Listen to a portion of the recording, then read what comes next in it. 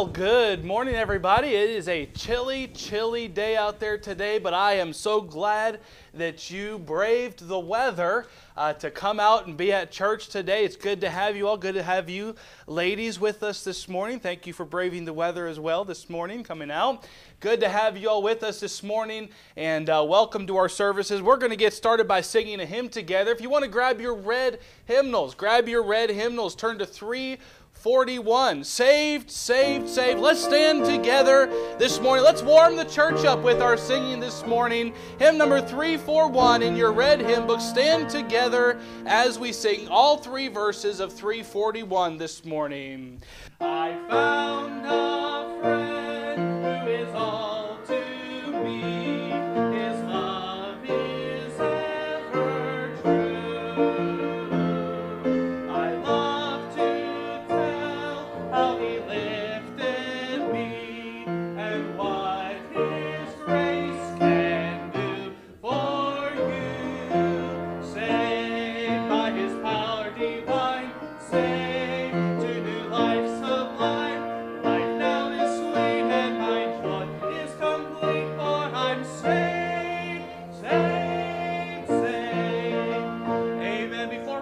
second verse, if you can't sing out about your salvation, I don't know what you can sing out about. So sing it out this morning. Let's warm each other up as we sing. And on that second verse, saved, saved, saved this morning. Sing it out on the second. He saves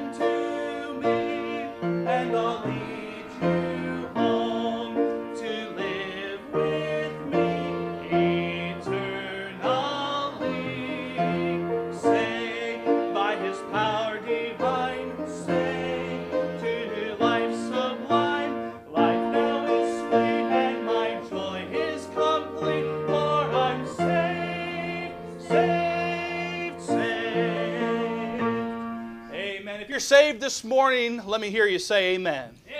Amen. I'm so glad I'm saved this morning. Let's open our service this morning in a word of prayer. Brother John Bates, I know you're heading out, but could you pray before you do? Father in heaven, we thank you, Lord, just for your, your just amazing grace Amen. and mercy that you share for us every morning, Lord. And love you, Father. I ask you to be with the service. And we pray, Father, that we'll be fed from you. And, Amen. and whatever we need, Father, in our lives, I pray that you'll give it to us today. Help our eyes to be open, our ears to be uh, hearing your word and attentive. Love you, Father. Just work among us, Lord. In Jesus' name. Amen. You may be seated. Again, thank you all for braving the weather and being out here with us this morning. Man, uh, if you're not warm before, if you weren't warm before singing that song, you ought to be warm now because uh, you had to stretch your vocals to hit those last uh, three saved there. But uh, good to have you with us this morning. Let's get our bulletins out and take a look at our announcements for today. I do have a, a little bit of a list here for you this this morning. I do want to remind all of our ladies that the 25th of this month uh, will be another one of our ladies' Bible studies. And it's a wonderful time uh, for the ladies to get together and to fellowship and to study the Word of God together. It is going to be just a wonderful time together as ladies. So, ladies, please put this on your calendars for here at the church at 12 o'clock, and that's coming up this coming Thursday. So, please uh, be here for that. Also, uh, I would like to remind, or, or I'd like to say this I would like to have a Sunday school meeting this week and next week after the morning service. And this is going to be for all current teachers or soon to be teachers and future teachers. Anybody who uh, would possibly like to teach in the future, you want to be at this meeting so that you can learn more about the Sunday school programs here at this church and also junior church. So please, this week after the morning service, we will be having, and again, I would like to take this morning anyhow and just take about five minutes. So if you want to just meet me up here on these first few rows, I'd just like to take a few minutes to speak to you about Sunday school and about the importance of Sunday school. And if you are on the fence kind of about serving in Sunday school or serving in one of these capacities, please come to this meeting and we'll be talking a little bit about that. But then on the 28th, which is Vision Sunday, we're going to have another Sunday school meeting and we will have, uh, hopefully by then, we will have our materials. And I'm, I'm, I'd like to go over a few things there as well. And we'll meet over here in the Sunday school area after the service next Sunday night. So please remember that. Also, though, before uh, we have that meeting, uh, or this morning anyhow, we'll have the meeting up here, but uh, uh next week we'll have it over there. But this morning after the service, uh, anybody who's ready to get their picture taken for the church directory, uh, if you are, uh, you've got, if you've got your uh, form there that's going to be filled out for that as well, uh, we're going to take pictures over there uh, by the green screen. If you're wondering why there's a green screen over there, it's for the it's for the directory pictures. So we'll be taking some of those after the service. If you're not ready for that, we'll also have it set up tonight. If you'd like to come by tonight and take that picture tonight as well, that is fine as well. But I want to remind you of that. But also, we will be doing that again on Vision Sunday next week as well. I just want to remind everybody of that. If anybody has not been able to, we'll take those pictures real quick tomorrow, either before or after the service. So please be ready uh, for those. I want to also remind everybody of Super Saturday Soul Winning coming up not this Saturday, but next Saturday. And I'm very excited about it. Uh, it is uh, coming up soon. Actually, that is this Saturday. I apologize. It is this Saturday, uh, Super Saturday Soul Winning. So please uh, make sure you're coming out for that, and, and it'll be a wonderful time. I believe the temperature is supposed to be warmer this weekend. All the snow is supposed to be gone. Amen. It's going to be a nice, uh, a balmy 42 degrees this coming Saturday. And man, we're all going to be in t shirts and shorts going out and knocking on doors. It's going to be hot outside. But uh, please keep that in mind and be out here for Super Saturday Soul Winning, 10 o'clock this coming Saturday. And then, of course, one week from today, we have Vision Sunday, and I'm so excited about that. Uh, we're going to be uh, unveiling some new Sunday school programs that we're going to have, some new availability for Sunday school, and some new classes that we're going to have there as well. And I'm very excited about it, so please be there for that. We're also going to be setting some goals for the year that we are going to be praying and, and working towards this year that we want to see God do. Uh, I know we have seen God do some amazing things last year. Uh, we saw, uh, I believe it was either six or seven souls got saved last year. Uh, we had, I think it was six folks that went through baptism. Uh, we had, I think uh, it was four folks that were in discipleship last year. Uh, and so I'd like to see the Lord do that again this year. Amen. So we're going to be setting some goals this year to see uh, the Lord reach those, and I know the Lord can do above and beyond those things. So please uh, come and, and, and, be ready for Vision Sunday next week as well. So uh, I'd like to remind everybody as well, real quick. I know I've got this uh, note here that was handed to me. Uh, ladies, you were given a form this morning uh, for the ladies' prayer partners. And uh, so, what uh, has been given to me here, please make sure that you return those by next Sunday. Those new uh, those new prayer partners will be starting in February. So please make sure you get that filled out and make sure you turn those in to Miss Marge uh, Sunday. Next Sunday is the cutoff for that. Make sure that you get in there, please. Uh, or Wednesday, just before before February. Please make sure that you get that uh, back to Marge filled out and and ready to go. So uh, again, I believe that's all the announcements that I have for today. Uh, let's move on. Let's get our hymn books back out. Hymn number three four two hymn number 342 in your red hymn books. Only a sinner saved by grace. Let's turn 342 in your red hymn books. We'll sing the first, the second, and the last together this morning. 342.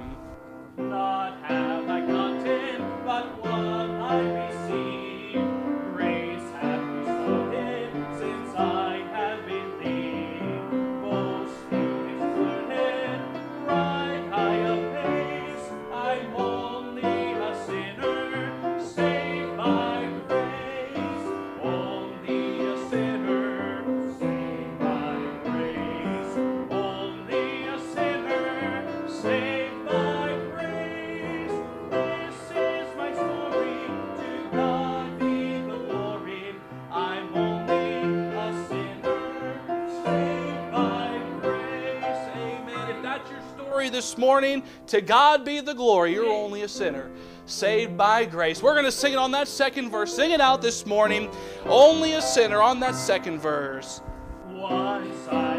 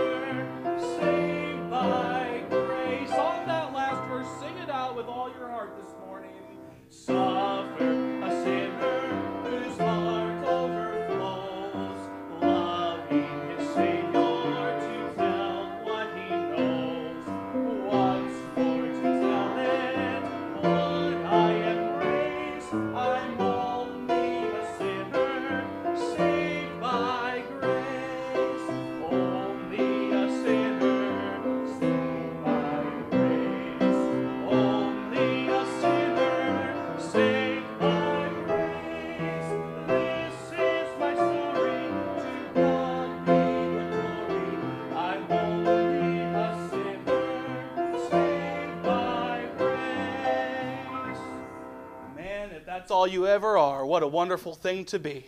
Just a sinner saved by grace. Amen. Wonderful song. I'm going to have our ushers come at this time if I can get a couple of men uh, to give me a hand with that this morning. This is a time that we get to give back as God has given to us. We missed a week uh, last week, but I'm glad that we're back together uh, where we can uh, uh, have this together. Brother Jesse, they're up front here.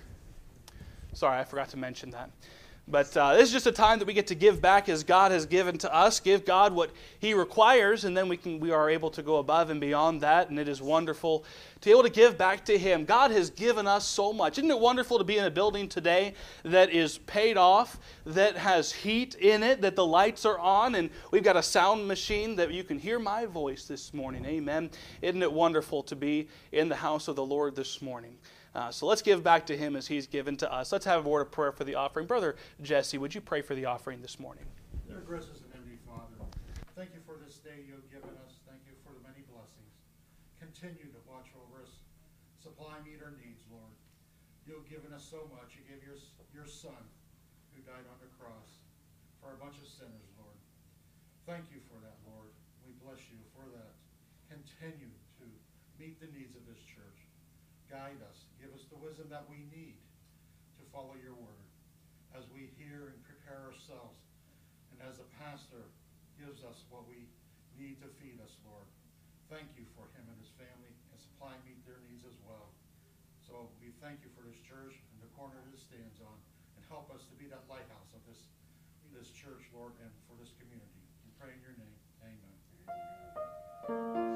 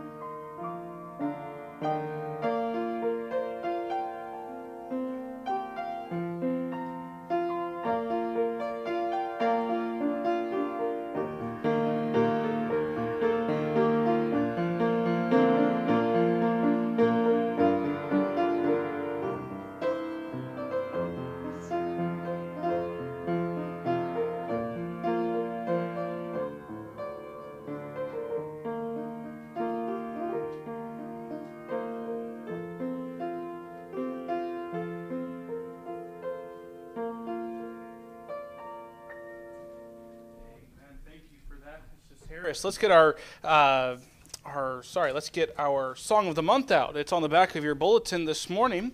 Our song of the month this morning. Let's get it out there on the back. There, may the Lord find us faithful. Let's stand together as we sing it. May the Lord find us faithful. Let's sing it out this morning. We'll just sing it through one time this morning.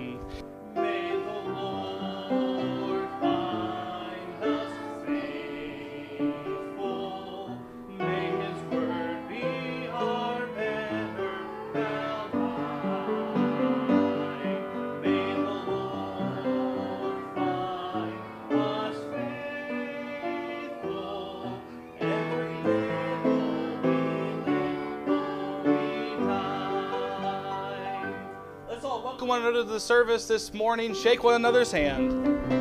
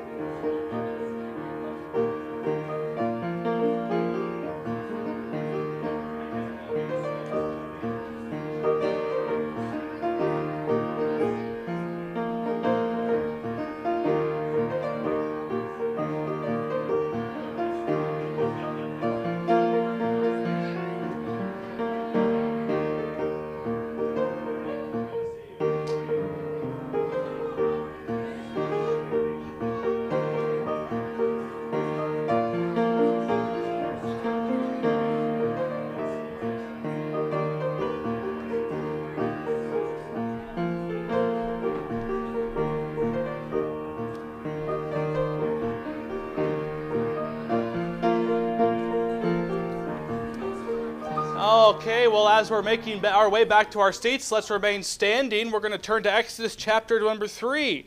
We're going to do our scripture reading at this time. Exodus chapter number 3, verse number 1 is where we will begin together this morning. Exodus chapter number 3, verse number 1. It goes Genesis, Exodus, one of the first books of the Bible. Actually, it's the second book of the Bible. So let's go to Exodus chapter number 3. Let's all stand together as we uh, do our scripture reading together this morning. Exodus chapter 3, verse number 1. Exodus chapter number 3, verse number 1 is where we'll begin. I'll read on verse number 1 if you'll join in with me on verse number 2. And we'll read one after the other all the way down through verse number 6 this morning. That's Exodus chapter number 3, beginning in verse number 1. If you're there this morning, say amen. Amen. amen. Exodus chapter 3, verse number 1. Now Moses kept the flock of Jethro, his father in law, the priest of Midian, and he led the flock to the backside of the desert and came to the mountain of God, even to Horeb. And the angel of the Lord appeared unto him in a flame of fire out of the midst of a bush. And he looked, and behold, the bush burned with fire, and the bush was not consumed. And Moses said, I will now turn aside and see this great sight, why the bush is not burnt. And when the Lord saw that he turned aside to see, God called unto him out of the midst of the bush and said, Moses, Moses. And he said, Here am I. And he said, Draw not nigh hither, put off thy shoes from off thy feet, for the place wherein whereon thou standest is holy ground. And altogether on verse number six.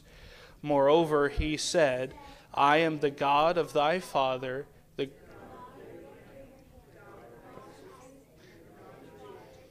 And Moses hid his face, for he was afraid to look upon God. Amen. You may be seated. Let's get our hymn books out one final time together this morning. Your red hymn books, turn to number 339.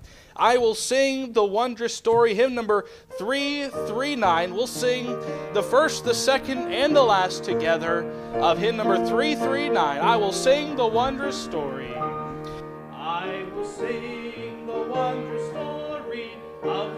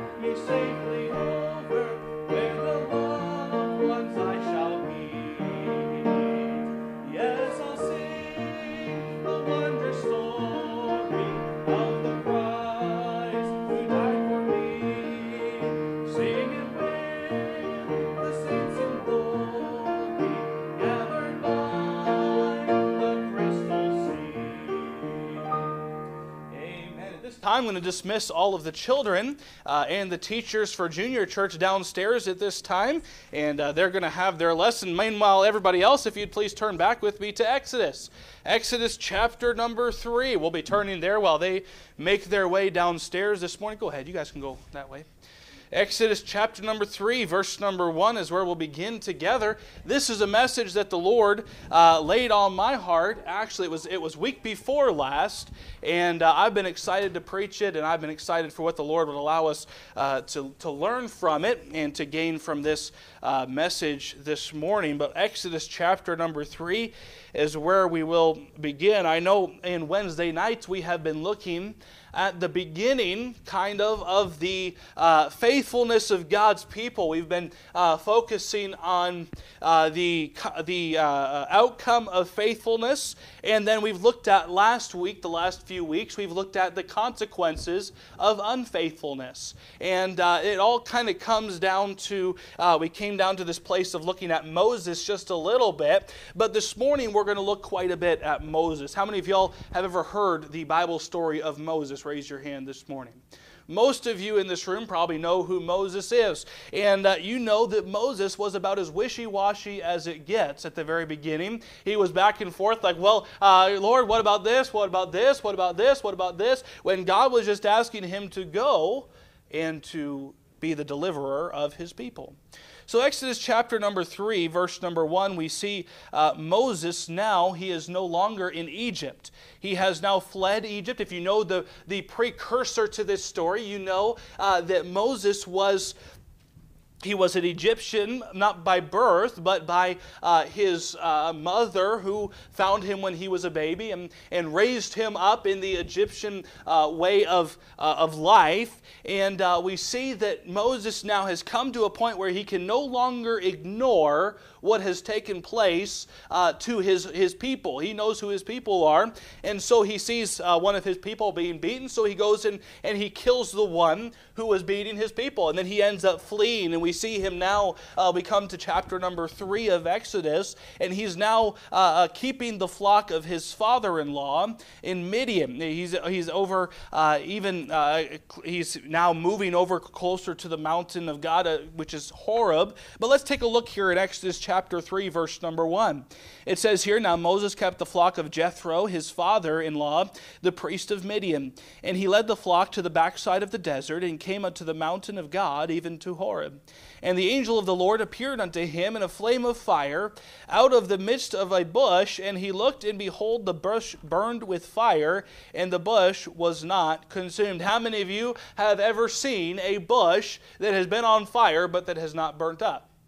I don't think any of us could raise our hands. I don't, I don't believe we could. So, uh, needless to say, I'm sure Moses was coming to this scene and he notices this bush that was burning. And I don't know if it was giving off smoke. The Bible does not say yea or nay about that. But it does say that the bush was uh, as if it was on fire. And so I'm sure for Moses to come in here and, and coming to a place that very likely there would never have been many people. I'm sure coming to the backside of the desert, the place where nobody really would ever go, to all of a sudden be seeing this bush, I'm sure would set him uh, kind of a little bit anxious to see this. I, I know I would be. Uh, to come out uh, into the backyard of the church and to go back uh, maybe into the forest a ways and to see a bush that was just in the middle of nowhere where nobody else would ever be and it was just burning and burning and burning. And it never went out, it never burnt up, it was just burning. I'm sure for Moses that would have uh, very likely set him uh, uh, kind of a little bit on edge. And it says here in verse number three, and Moses said, I will now turn aside and see this great sight, why the bush is not burnt. And when the Lord saw that he turned aside to see, God called unto him out of the midst of the bush and said, Moses, Moses. And he said, Here am I. Those three words, here am I, would like to focus on those three words. Then I'm going to later on uh, focus on three other words in the late, latter part of the message this morning. But those first three words we see Moses say, he says, Here am I. He is hearing uh, the voice of the Lord. Uh, or the voice of an angel, anyhow, coming to him and saying, Moses, Mo-. They know his name. And he's uh, obviously, I'm sure, kind of set on edge. Yeah, I don't know if he would have had any help with him, but to all of a sudden be maybe in a cave somewhere or on the backside of a mountain to see a bush being burned, and all of a sudden hearing my name called out from the bush. I'd be pretty uh, set on edge there. But Moses says, Here am I. Moses, as we see throughout Scripture, had what I believe to be one of the hardest jobs. He had a very difficult job. You look at the children of Israel and look at uh, how they acted under the leadership of Moses, and, and you'll know what I mean about a very difficult job. If you've been a parent for any length of time, you know what it's like when you tell your children to do one thing and then they do the opposite. How many of y'all can attest to that this morning? I think all of us can. Even Natasha, who's not even two years old yet, I can tell her to do one thing, she'll look at me and smile and then do the opposite. Uh, I think every child is like that. I don't know if that's something that uh, uh, God put in there to teach uh, parents patience, or I don't know. All I know is that every child is, is, is that way. And, and for Moses, if you look at the children of Israel, they're exactly the same way, are they not? He says, or the Lord says, and then Moses tells them, and then what do they do? They do the exact opposite. And then, and then when God punishes them, they complain as to why they're being punished. How many of you were that child? You, you, you did something wrong and then got punished for it, and then we're like, well, oh, what happened? Why am I getting punished for this? I was that kid, probably. I can, I can attest to that this morning. Got punished for it, and then, man, they're being so hard on me. What have I ever? I'm the perfect kid. I've never done anything wrong. I don't know about that, but that, that's the children of Israel for you. But the thing that's different about that is that the children of Israel were not all children. There were adults, there were older folks, there were younger folks, and Moses had to be the leader of all of them. He had to lead the people of God out of Egypt and then through the desert, but not only that, had to lead them through the desert for so many years that he did not even get to see the promised land. Again, because of his disobedience, but still, he did not even get to see the promised land. He did not get to see, of course, he went to uh, heaven to be with the Lord, and I know he's up there, but still, he did not get to see the promised land that he had spent so much time looking for and searching for and, and, and, making his way to. He had a very difficult job. We see, though, for Moses, at the very, very beginning of his ministry, at the very beginning of his calling that God has placed on his life, we see a contrast or a change, or we really see two parts. We see the beginning, which we just looked at. We see him uh, uh, uh say, Here am I. But then we begin to see him say something else. And we're going to get to that here in just a moment. But we're going to take a look at this uh, difference this morning. Hopefully, we'll gain some encouragement this morning as we serve God faithfully. This message, maybe at the beginning, uh, will maybe seem like it's not an encouraging message, but don't worry. We're going to get to an encouraging point this morning because I know this. Uh, when we've got a snow day and we have to miss church, you can get very discouraged. I know uh, over the last week, I know we got to meet together on Wednesday, but hey, there's something about Sundays. There's something about not getting to meet together on Sundays. Even this morning, not getting to see that bus run, there's some discouragement there. But hey, let's see if we can get some encouragement this morning. Let's have a word of prayer and we'll get into it. Heavenly Father God, I thank you for allowing us to come together this morning. Lord, I pray that you just take control of your servant today. Lord, that I would not preach something that I just feel would sound good, Lord, but that I would preach whatever it is that you want to be preached this morning. Lord, that you would just take complete control of your servant, Lord, that my words would not be heard, Lord, or, or the words that I've written down on paper here, Lord, would not be heard, but that your words and the word of God, Lord, your words that you've given to us, Lord, would come through and that your words would pierce the heart, Lord. Lord, that your words would do what needs to be done today. Lord, we need you. Help, help us as we go through this together today. In your name I pray. Amen. So we come to the very first part of our message this morning. And very simply, point number one is Here am I. Here am I. We're going to look at those three words. Here am I.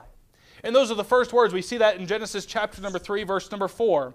When God gives, uh, when God first comes to Moses, we see this. It says, And when the Lord saw that he turned aside to see, God called unto him out of the midst of the bush, and said, Moses, Moses. And he said, Here am I. These words, these three very simple words, call out that, that Moses uh, says to the Lord. He very, very simply and very plainly says, Here am I. Here am I. What does this show in Moses' life? What does it show? It shows a, a willingness to serve. A willingness to serve. Moses says, uh, Lord, I'm right here. I'm right here. He says, Here am I. He hears the voice of God and sees the angel of the Lord as a fire in the bush. And in that moment, at that moment right there in his life, he's willing to say those words, Here am I. Now, Moses, up to this point in his life, he, again, he has not seen the hardship that God has in store for him with, uh, with dealing with the children of Israel. He doesn't know that, but still, he has gone through quite a bit uh, previously in his life. He has had a difficult time, I know. Yet he still says those words, Here am I. I'd like to look at these three words and, and, and read a few different passages of Scripture of where these words come into play. Let's, go, let's turn to Genesis chapter number 22. You're in Genesis chapter 3. Let's look forward. Let's look ahead to Genesis chapter 22 and verse number 8. I'd like to look at the faithfulness of Abraham. The faithfulness of Abraham. We looked at this a couple of weeks ago on Wednesday night, looking at the outcome of faithfulness in Abraham's life. Genesis chapter 22, verse number 8, it says, And Abraham said, My son, this is him speaking to his son Isaac. It says here, God will provide himself a lamb for a burnt offering. So they went both of them together, and they came to the place where God had told him of. And Abraham built an altar there, and laid the wood in order, and bound Isaac his son, and laid him on the altar upon the wood. And Abraham stretched forth his hand and took the knife to slay his son. And the angel of the Lord called unto him out of, the, out of, the, out of heaven and said, Abraham, Abraham. And he said, Here am I. Here am I. Let's look at verse number 12. What happens after he says, Here am I? It says, And he said, Lay not thine hand upon the lad, neither do thou anything unto him, for now I know that thou fearest God seeing thou hast not withheld thy son, thine only son, from me. So the first time we see those three words, Here am I, is Moses saying to God, I, am here, God, I'm, I'm willing. The second time we see Abraham about to kill his son because that's what God has asked of him to do. And he says, Here am I, hoping that God will uh, possibly, maybe lead him away from killing his son. But what do we see here in those words of, Here am I from Abraham? We see faithfulness. He's saying, Here am I, Lord. Whether he didn't say, Here am I, Lord, please take this away from me so that I don't have to kill my son. No, he just says, Here am I, Lord. He doesn't, uh, even Moses at the beginning doesn't say, Here am I, Lord, as long as it's something that I'm okay with. What do we see? We see uh, uh Abraham say, Here am I, in the heart of faithfulness, being faithful to God no matter what. Next, we see in 1 Samuel, go ahead and turn there with me. 1 Samuel chapter number 3. 1 Samuel chapter number 3 and verse number 1.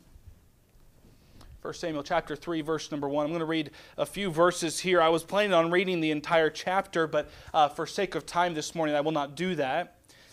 Many of you know the story of Samuel.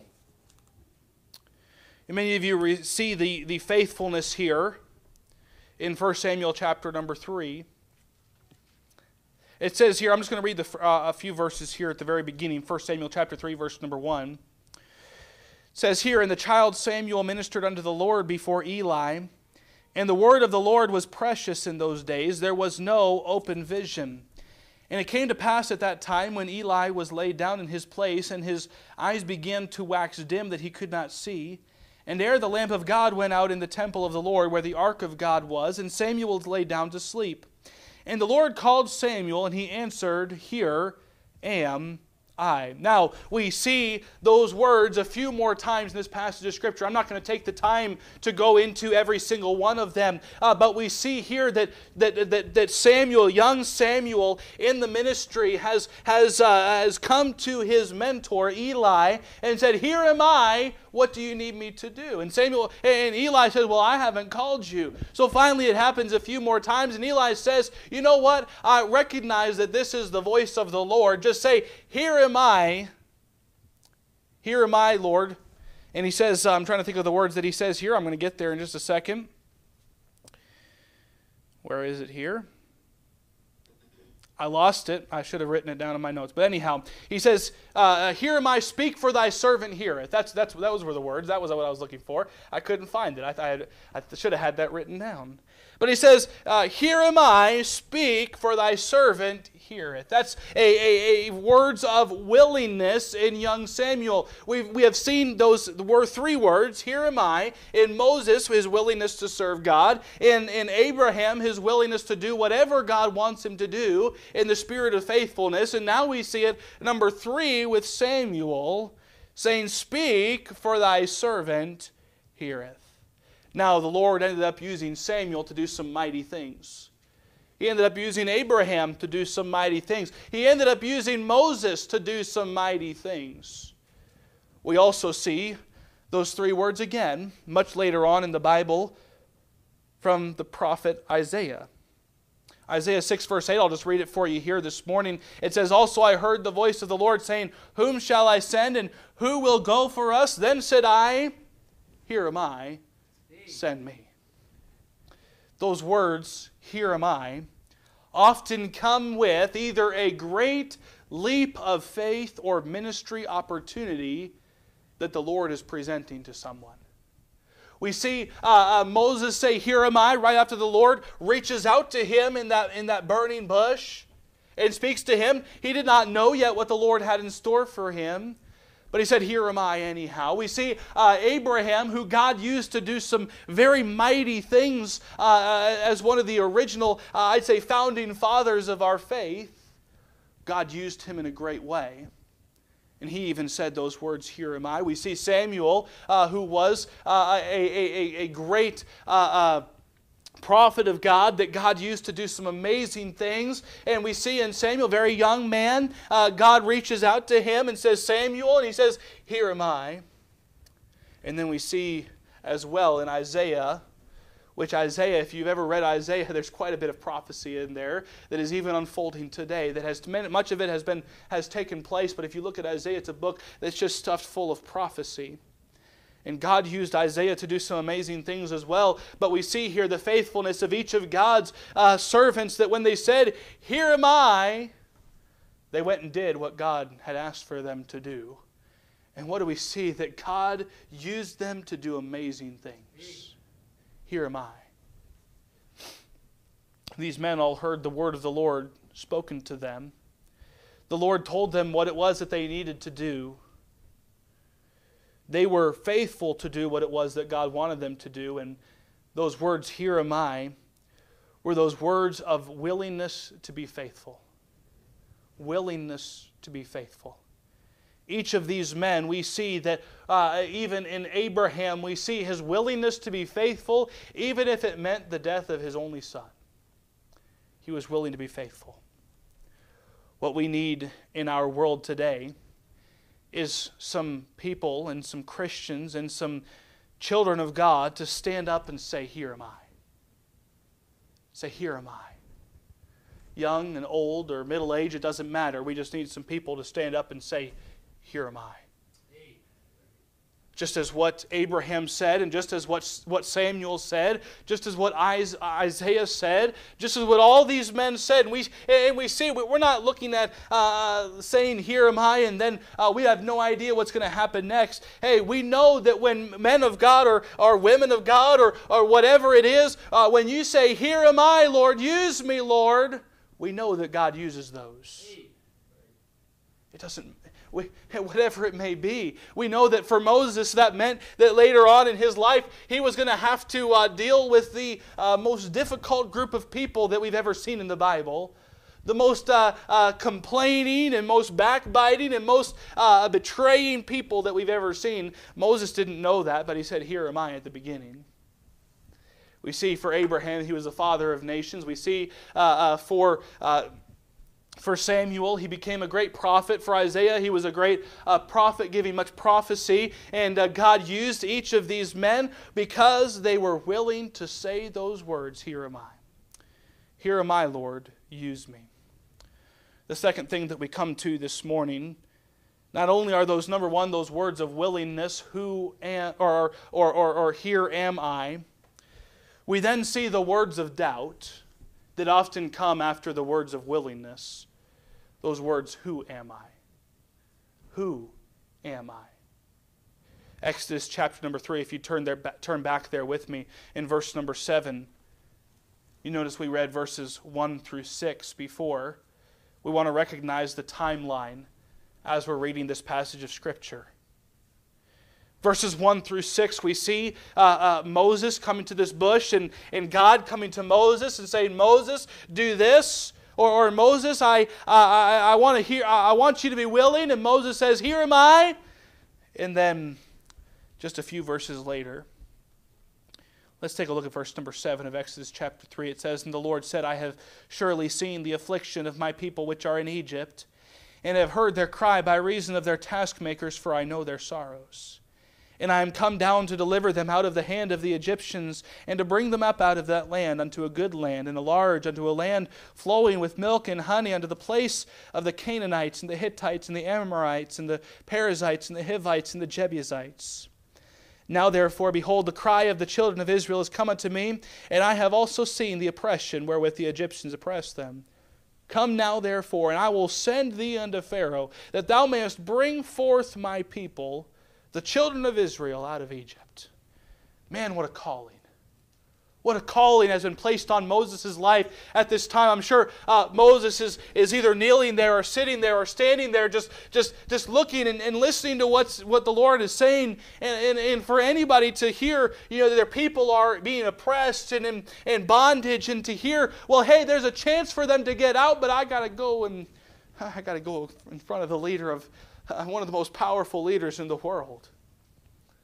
I don't know about you, but uh, uh, I don't know if I could go up in front of uh, uh some of these world leaders today and, and, uh, and uh, be confident in front of them. I just don't know if I could.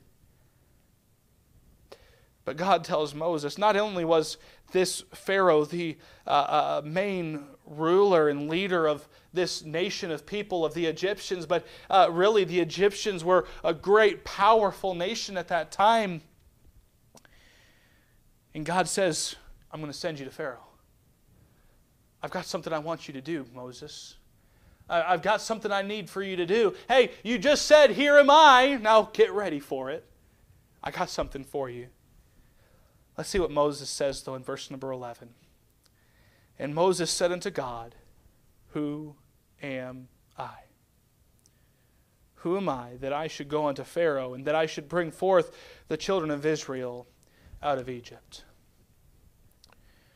We see what happens so often with so many Christians and so many of those who God has called into ministry or has called to do something, we see directly after we see that willingness. Maybe uh, somebody has just come and surrendered their life to serving God, or maybe it's somebody who served God for a long time, but they begin to get into self doubt and say, Who am I? Who am I? Who am I?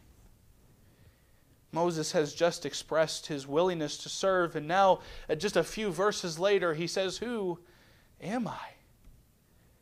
There is a beginning of willingness, but then we begin to see that in Moses' life, self doubt begins to set in he begins to look at his own shortcomings and his failures, and he begins to say, Well, oh Lord, I, I, I can't speak to those people. I, I, I, don't, I don't know how to, I got I gotta stutter. I can't, I can't talk like that. Or uh, I just, I, I can't do it. I, I don't know how to talk to people, and uh, I'm not, I, don't, I don't even know how to talk to you, Lord. I, how am I supposed to talk to these people?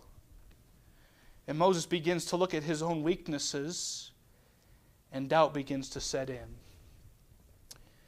he then asks the question that so many, as they begin to feel the calling of God in their lives, ask. The devil, when God calls somebody, works harder than ever to get you to look inward instead of upward.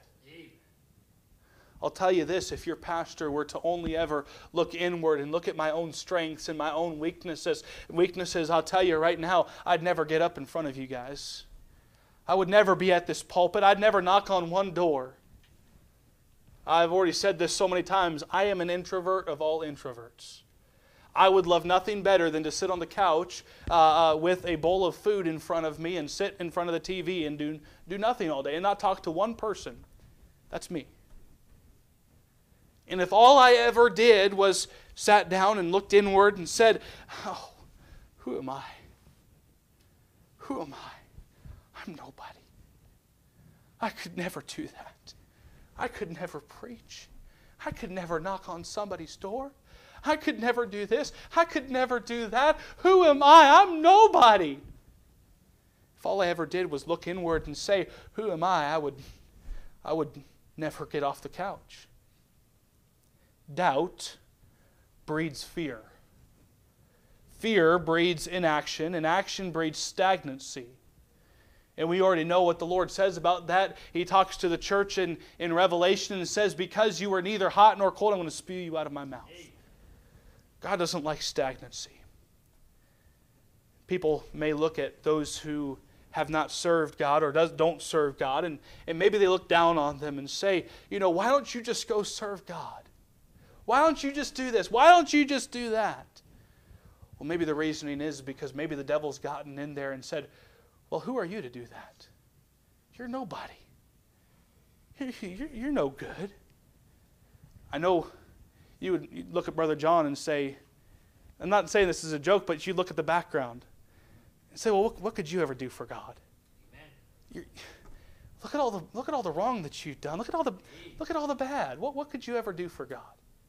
That's the devil. That's all that is. That's all that is. Because, hey, when you begin to look inward instead of upward, you begin to look at your own strength, and I'll say this your own strength is nothing. But what does the Bible say? I can do some things, a few things, all things. I can do all things through Christ which strengtheneth me. Hey, maybe you're saying this morning, hey, I could never, I could never, I could never be on a church bus. I, I, I could never teach Sunday school. I, I, could never, I could never be the person to read uh, uh, the missionary letters on Wednesday nights. I, I could never stand up in front of everybody and give the announcements. I, I could never lead singing. Well, maybe you can't, but God can. Maybe you can't, but God can. Stop questioning yourself. Stop looking in and saying, Who am I? Except for right now, I'm going to ask you, Who are you this morning? Who are you this morning? Are you saved this morning? Are you on your way to heaven this morning? I've got news for you this morning, dear Christian. You don't have to ask, Who am I when it comes to the ministry that God has for you? Why is that? Well, that leads us to point number three. You are somebody to God you are somebody to God. Inside of yourself, you might think, well, I'm just a nobody. Well, it's true, but with God, all things are possible. You are somebody with God. Matthew chapter 13, and I won't take the time to have you turn there. I'm just going to read it here. Matthew chapter 13, verses 44 through 46 say this again The kingdom of heaven is like unto a treasure hidden in a field the which when a man hath found, he hideth, and for joy thereof goeth and selleth all that he hath, and buyeth that field. Again, the kingdom of heaven is like unto a merchant man seeking goodly pearls, who, when he hath found one pearl of great price, went and sold all that he had and bought it. Anytime the Bible says the kingdom of heaven is like unto, we know that we're going to get a little bit of insight. This passage tells us here of two very separate people who had something that was of great value to them. In one, we see uh, uh, there was something of great value that they had found. One, uh, they had found something in a field. The other, they had found a pearl that was of great price. And in both stories, we see that they sold everything to obtain this one thing. It was, it was worth so much to them. It had so much worth to them that they gave everything for it. Now, why does that sound familiar?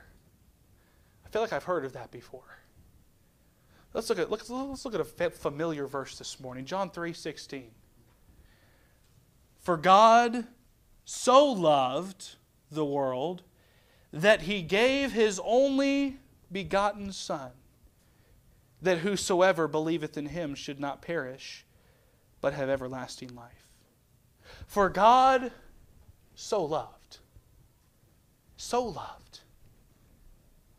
Look at that in in, in Matthew. Think about that for a second. On the one hand, we see where there was a field that this man found a great treasure that it was hid in. And he found this great treasure, and he, he, he went and, and he didn't just sell some things. It says that he sold all that he had. He sold everything to go and buy that piece of land and get that treasure. What about the one with the great pearl? He sees the pearl that was of, of, of great value. And he sees it and he says, This pearl, I, I've just got to have it. I'm going to sell everything that I have to get this one pearl. God looked down at you and said, You are so worth it. You're so worth it. I'm going to give everything. I'm going to give up my only son. I'm going to have him die on that cross for you. You're so worth it. You are so loved that he gave everything. You are somebody to God. If you were not somebody to God this morning, he would not have sent his son to die on the cross for your sins. If you were a nobody to God, uh, He never would have sent His Son down to this earth. He never would have even thought twice. But the Bible says here that God so loved the world. That means that you this morning, God so loves you. God so loves you. Maybe this morning you're asking, Who am I? Who am I? Maybe you're asking, well, why am I here? Why am I at church this morning? I'm here to tell you this morning that there's a Savior who died for you and who lives for you and has an individual plan for your life. Maybe you've never accepted that gift. Maybe you've never really understood what it means that you are somebody to God. Maybe you never understood what so loved means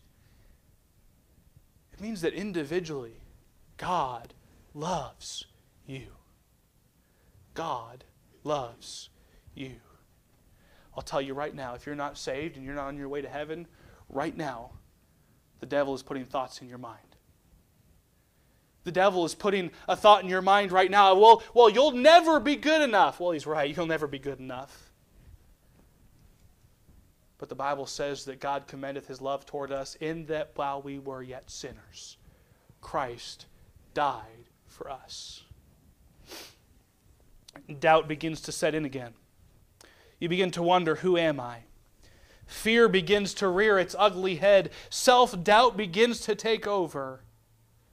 Don't allow those things this morning to make you question who you are in Christ. You are a child of God. If you are born again and you've accepted Christ as your personal Savior, then this morning, bless God, you're on your way to heaven.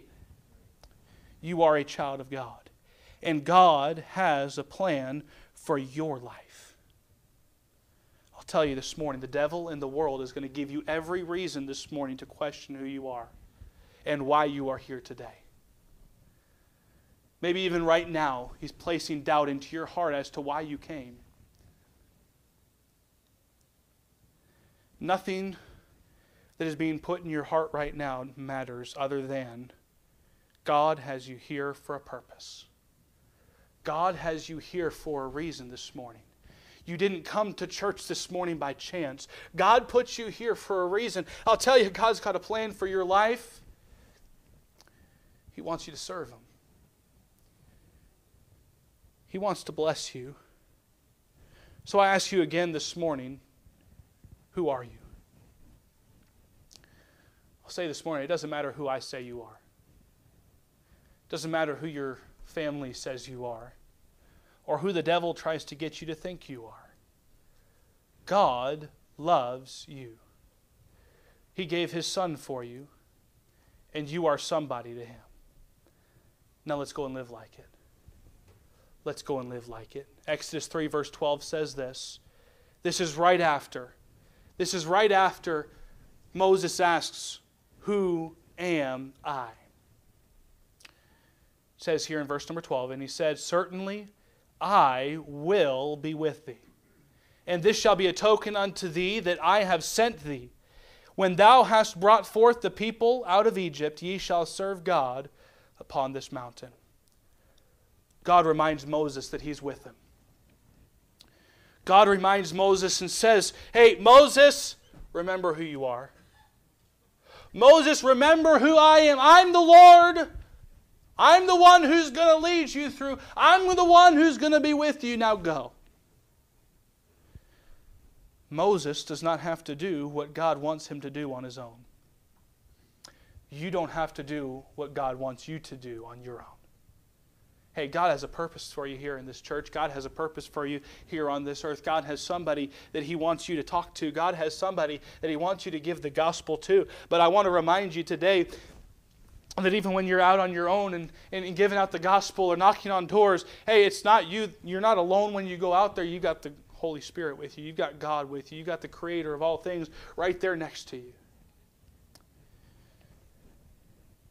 Again, self doubt begins to sink in. And again, the devil whispers that little thought in your ear and says, Well, who are you? Who do you say that you are? Makes you think about things that are irrelevant. Doesn't matter who you think you are. It matters who God thinks you are. And it matters what God says. God has a plan for you, God has a purpose for you. Again, the devil's going to do everything in his power to keep you from what God has for you. He's going to put the self doubt in. He's going to make you start to question, well, who am I? What does God have for me? Oh, all these, all these things here and there. What is he doing? He's trying to get your eyes off of what the plan for today is for your life. Isaiah 6, verse 8, this is our verse for the week. It says, Also I heard the voice of the Lord saying, Whom shall I send? And who will go for us? Then said I, Here am I. Send me. Here am I, Lord. Here am I, Lord. Send me. Use me, God. Work in me. Whatever you want, Lord, whatever it may be. Lord, here am I. Maybe there's some this morning that need to say, Lord, here am I. I've never, I've never accepted you as my Savior. Here am I, Lord. I'm coming. I'm going to humbly bow down before you, and I'm going to ask you to come and forgive me of my sins and take me to heaven with you when I die. Lord, I want you to come and live in me. Maybe there's some this morning that are wrestling with the ministry that God wants them to be in, and maybe this morning just need to say, Here am I, Lord. I'm here to serve you, Lord. Whatever you want, guide me, direct me, show me what you want.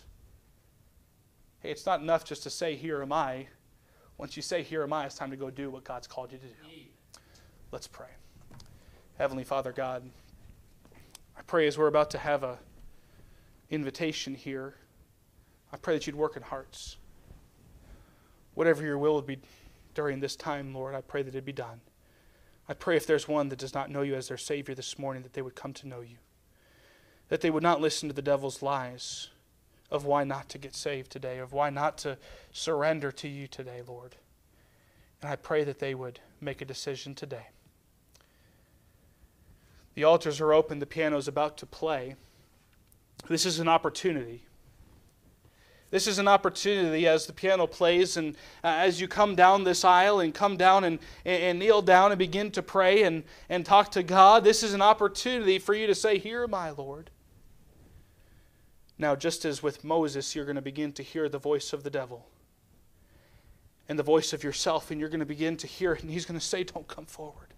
Sit in your seat. Don't move. Don't pray to me. Don't, don't move an inch. Just stay right there. And that's exactly what the devil wants. As the Lord leads, the piano is going to play. As it does, you come. Maybe you need to come down this morning and just say, Here am I, Lord. Uh, I, I want to know you, Lord. Uh, I, I want to get saved this morning, Lord. I want to know who you are. I want to know personally today, Lord, that I'm going to heaven. Come on down to this altar right now. There's those all over this room that would love nothing less than to open up the Word of God and show you what it means to be saved and how you can know for sure you're going to heaven when you die. I know the devil right now is, is, is talking to you in your heart right now, saying, Don't move. There's people around. They might see you. Don't listen to him. He's a liar. That's all he is. He's a dirty, rotten liar. Don't let that stop you from serving God today. Hey, maybe there's somebody in this room today who's saying, uh, uh, here needs to say, Here am I, Lord. I, I'm ready to serve you, God. I'm, I'm ready to do your will today, God. And hey, the devil's going to start to prick at your heart and say, Don't. Don't come, don't, don't go to the altar. Don't, don't, don't surrender your life to God. Don't tell God you're going to serve Him.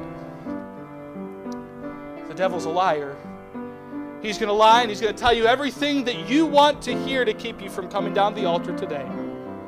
This altar is open. This invitation is open. You come. You come.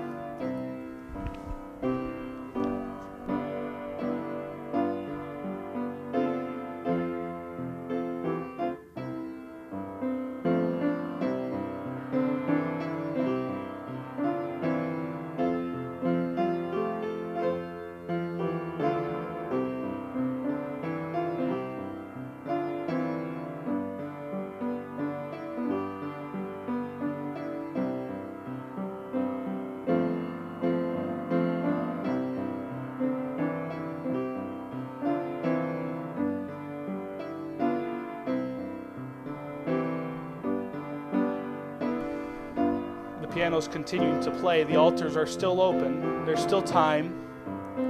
There's still time.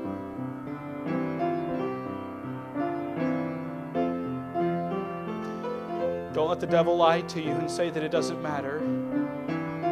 Don't let the devil lie to you and say that God won't use you because he will. Make a decision today to say, Here am I, Lord. Here am I, Lord. Send me. Here am I, Lord. I'll stand in the gap. I'll make up the hedge, Lord. Here am I, Lord. I'll serve you. If you speak into your heart this morning, you come.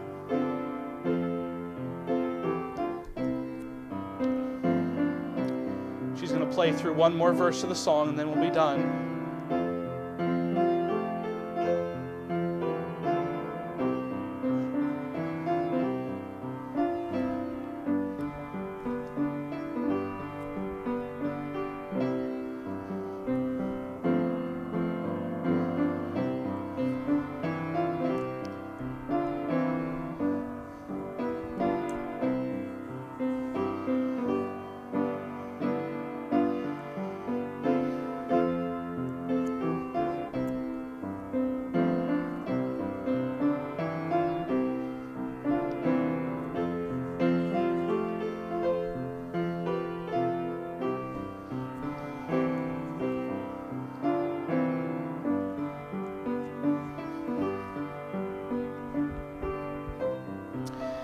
Heavenly Father, God, we thank you for meeting with us again this morning, Lord. I pray that the message as it was preached, Lord, would speak to hearts, Lord. If it, even if it doesn't speak right now, Lord, maybe it would come back later on today and maybe it would speak to some hearts, Lord. And Lord, I pray that you would just work through the message, Lord, and I pray that you will have worked downstairs, Lord, as well. Lord, we need you. Lord, we desperately need you. I pray that you'd be with us this morning, Lord. Keep us safe as we go home. In your name I pray. Amen. Before we leave, let's get our hymn books out one more time. Hymn number 375. Let's stand together as we sing 375. Since Jesus came into my heart. We'll sing the first, the second, and the last this morning. Let's stand and sing hymn number 375.